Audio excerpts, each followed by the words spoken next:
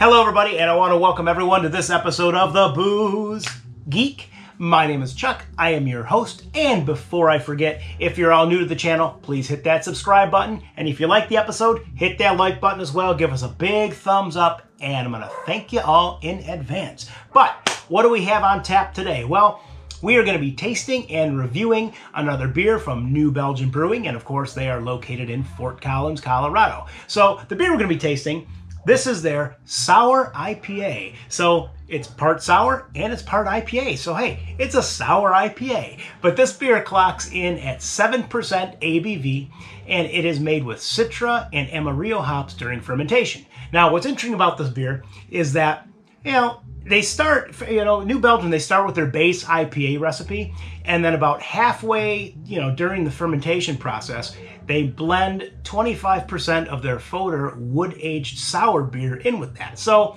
that's kind of neat. So we got kind of like the sour IPA blend going on here, you know? So without further ado, let's crack this bad boy open. Let's see what we got, and uh, yeah, let's hit the fun started. Here we go. Boom, boom. One, two. Zero smoke out of the can on this one. Zero smoke.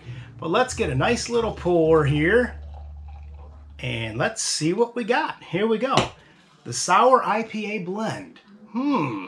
Well, it almost, uh, you know, it's funny. It's got it's got a, a different, um, it's it's a lighter yellowish gold, which is interesting, but it almost looks like a hazy, which is kind of cool. And we have a pure white head of foam here, uh, just under half a finger but veil of pure white. But yeah, it does look like a hazy beer so far. But let's give this a swirl and let's give this a nose and see what we got here. Hmm, I wonder how sour this one's going to be. Here we go. Oh, well, so far the aroma is not that sour. Not that sour at all. But I am getting some slight lemon, some slight lemon peel, there's definitely some uh, some grassy notes coming through and some doughy notes coming through. But I gotta oh, I gotta admit, overall, it's not that sour. Well, it, it's it's it's not an overall you know big sour nose. So let's give this another swirl and let's give this a little sippity sip, and uh, let's see how sour it is on the palate. Here we go. Prost.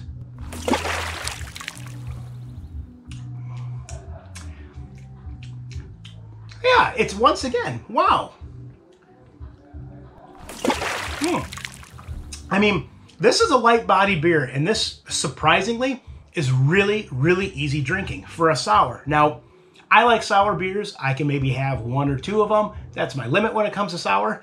But this is, I mean, overall, this is not that sour. Maybe they should have labeled this the half sour IPA. But let me get another sip here. I mean, we're getting some of that lemon. We're getting some lemongrass little bit of Here are some, maybe a little bit of other citrus notes. Uh, and there's definitely some lemon peel as well, and maybe some slight orange peel, but it's predominantly that lemongrass is coming through. Uh, but once again, I have to stress this. I mean, it's just really not that sour, which is okay. I mean, some people they see sour and they run for the hills. But I mean, this is one I'd say, hey, you know what? give this a try because this is this you might actually enjoy this one. Let me give this another sip here.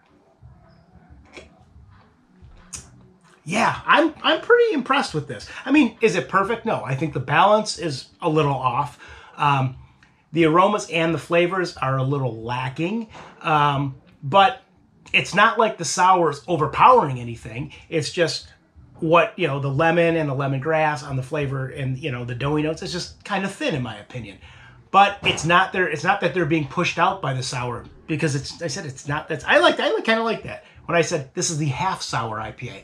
But on the pint-o-meter, I'm going to give this one.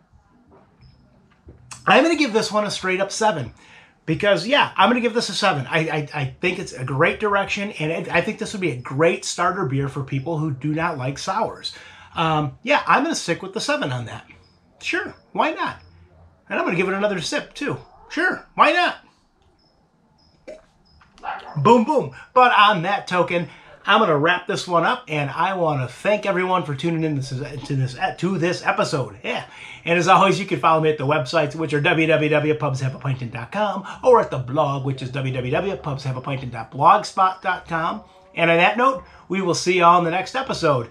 Probably won't be a sour though, maybe, but I doubt it. But anyways, we will see you next time. And as always, raise a pint, cheers, prost, and enjoy.